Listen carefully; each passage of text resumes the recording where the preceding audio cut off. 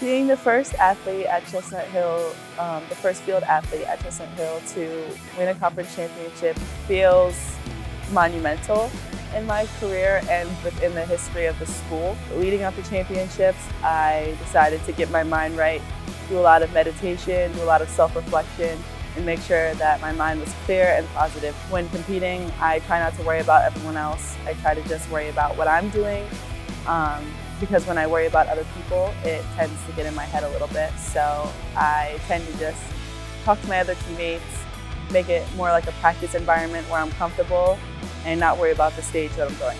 In the moments leading up to my final throw, I wasn't nervous at all. I knew that I had it and that I was just, I just had to have fun with it.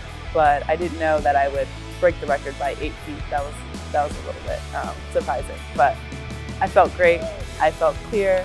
Being a dual sport athlete in the same season and also a dual sport student athlete, it was very much time management that went into it. And that I was a student first before I was on any team.